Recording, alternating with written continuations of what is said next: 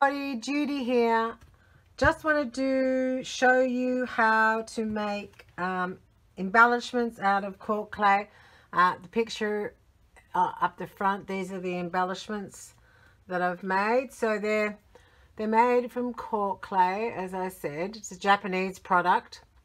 Um, they're probably a mil thick when they're finished. They're completely flexible um, and you can cut them, rip them, um, paint them and and yes so I'll just show you. So this one here has got the gold leaf on it with um, the uh, red oxide underneath. This one's got a, this has been stamped into with a very big stamp and that's been painted with black with the gold leaf over the top. This one's just been painted over the black. One has been with the uh, red oxide but then just rubbed with uh, a gold wax mica wax that I've got. And this one here has had silver and black and gold on the top. And I think that one there has just got gold paint on the top. Right.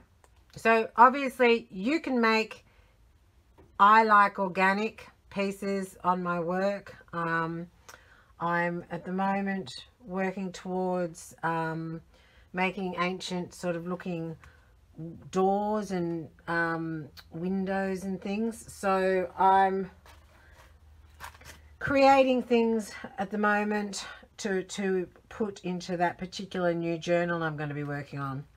So I've put a link up um, on underneath um, for Australia and for because I don't have a new a new bag um, but I'll put a link up to buy it. It's about uh, $25 Australian about 20 $20 Australian 25 somewhere around there. Depends on on the two link America yeah it was about $14 or something so yeah about $25 but it's quite a big bag and it goes a long way.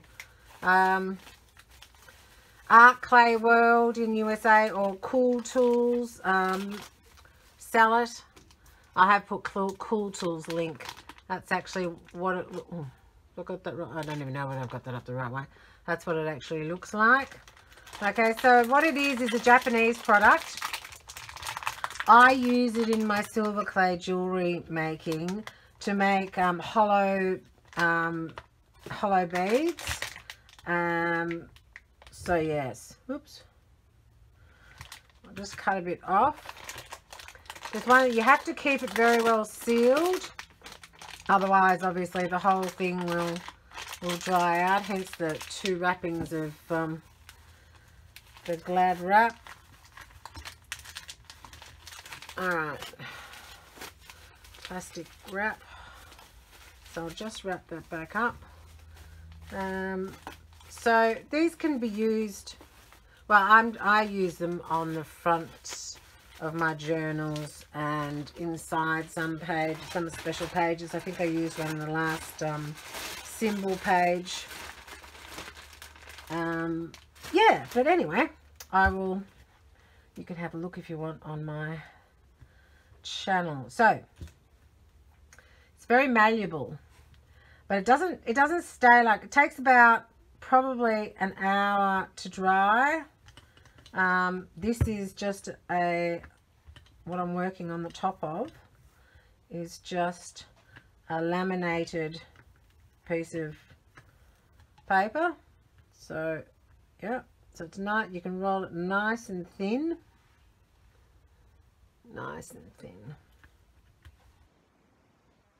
Has to still be, it still has to be thick enough to actually take a stamp if you yeah so um, I'm going to try uh, I'll do this one. Stencil. You just roll it on until you actually sort of popped level on and the actual stencil is embedded into the piece of cork.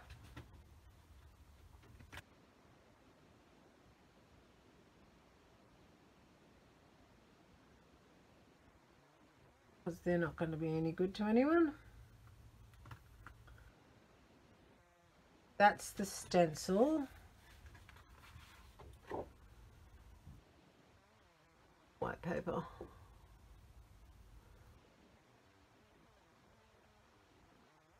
Paper doesn't. Um, doo -doo -doo anyway, that's fine. I don't know whether you can see that doing doing that thing. So that's, uh, actually I might leave that on there, on there to dry and just turn this around because it's actually quite thin, that piece. So you can, same deal, use um, a lot of um, molds that I've made myself um, in my work.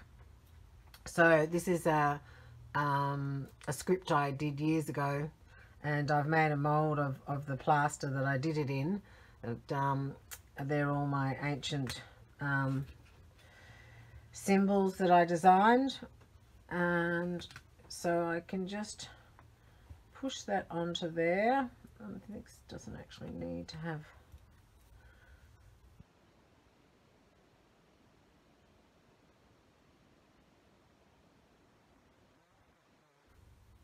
reverse.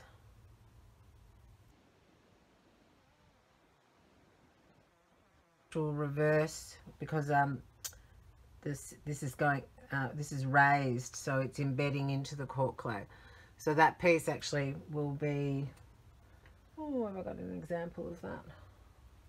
I like this one where it's embedded. Um what else? So we're going to use a uh, snake roller and roll out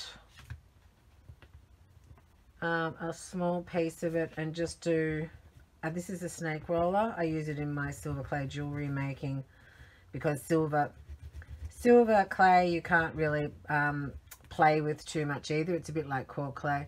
You need to keep your fingers away otherwise it dries out quite fast. So this is kind of a cute thing to do and what I'm going to do so I'm actually just going to use now this I'm just going to lubricate this because I want to move this one. Uh, now this is just um, a Cool Tools um, it's kind of like coconut oil you know coconut oil but you can use coconut oil and you or you could use olive oil. This is just an organic um, an organic one that I use um, in silver clay.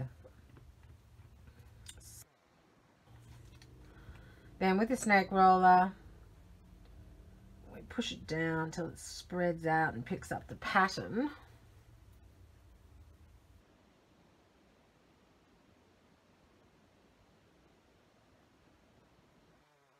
off the mold really easily and you can see how it's picked up the pattern beautifully so you'll be able to paint that and do whatever you want with it.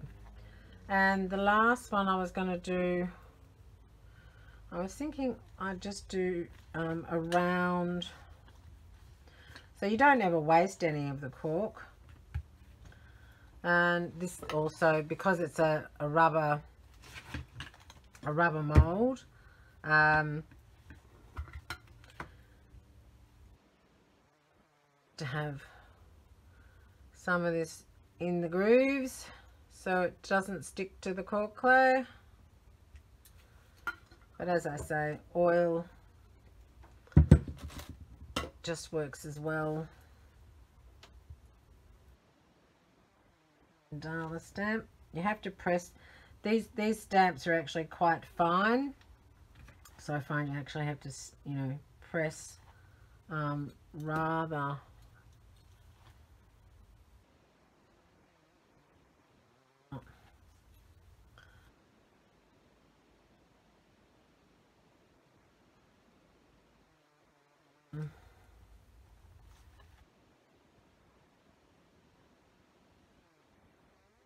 everyone's doing well. Um, See how it just joins back together again. I'm hoping you can see that. Hoping I've got my camera close enough.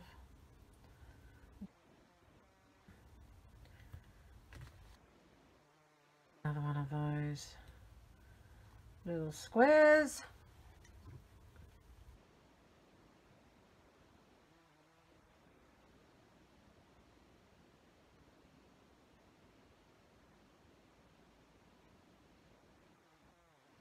So they're very thin. They take a couple of hours to dry. By the time you've stamped, there are probably only, no, they can go from one or two mil, you know, thick. But, um, and I will just stamp that last little bit.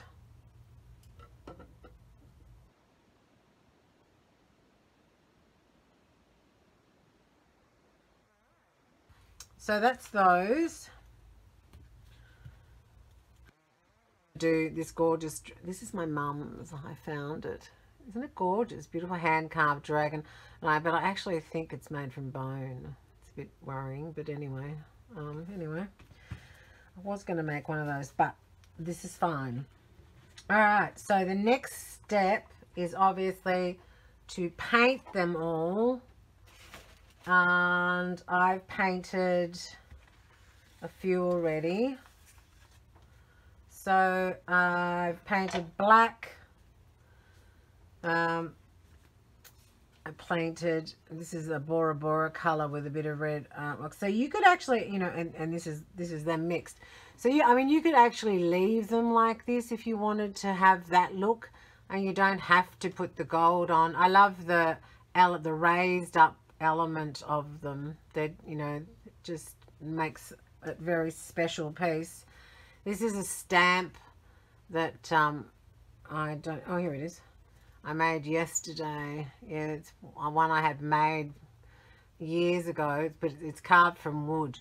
So um, it's very, very, not very deep, but um, it did come out because I rubbed a little bit of white on it just to see. And that's another one there from yesterday. So I painted them a few colours when I was having a play. Um, and so there's a few different techniques of getting, obviously I showed you, you know, you could just rub, rub the gold waxy mica powder mix on. You could go put gold leaf, which is, this is gold leaf. And um, so the way I do gold leaf is I actually have a glue stick, a flat glue stick and I just rub across the top trying to just get glue. And the reason I'm using this one is because it's not quite as sticky as um, the UHU. The UHU is actually really really sticky and it gets everywhere. So I use that. Then you just pop that in there like that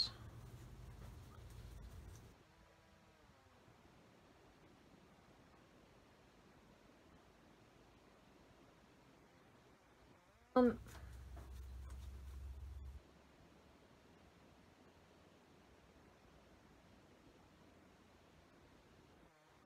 be stuck to where you put the glue like so.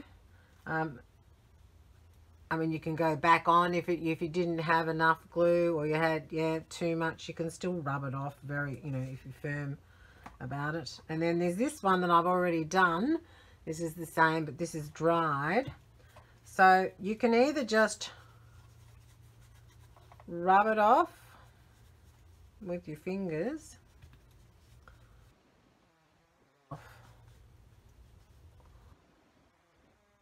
Would be better. That one's too soft, and I don't know what I've done with my firm one. Now that's silly. Maybe that might be a bit better.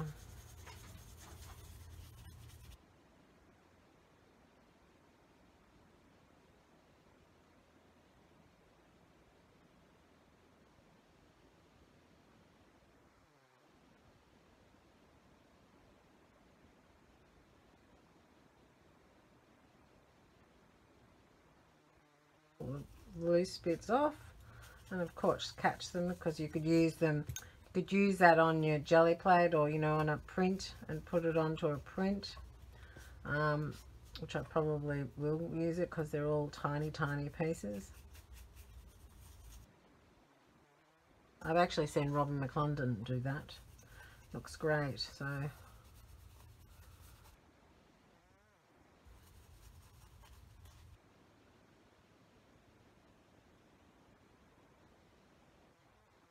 Few fingers, something, you know, chronic.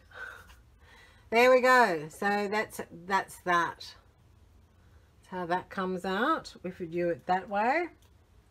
Um, I also did a bit on a card that I was working on, which was interesting. So I thought I'd just take that off while I'm while I'm here.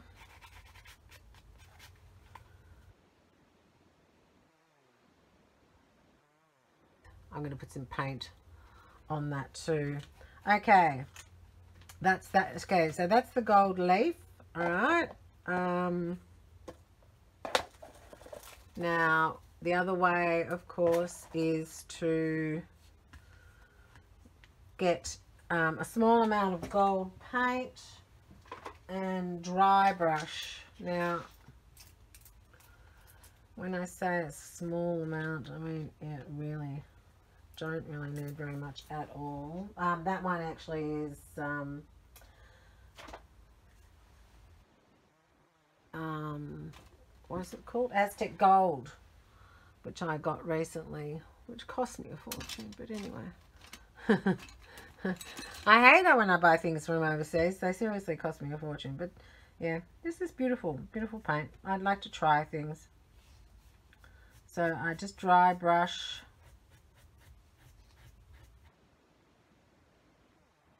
process, but this Aztec Gold is actually a beautiful colour over the over the black.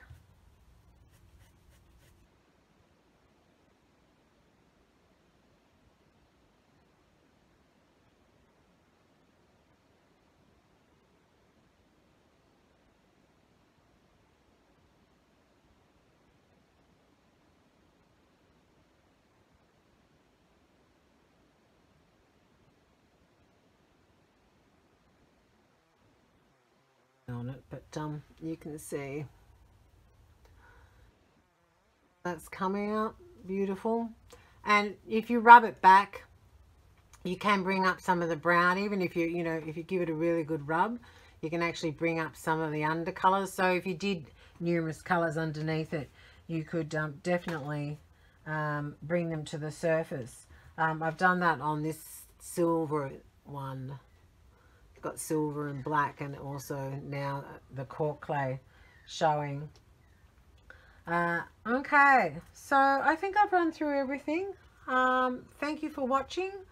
I hope you enjoy playing with cork clay and um, I will hopefully see you in the next video. I'm doing uh, stained glass windows on the aluminium foil but my way. okay, bye.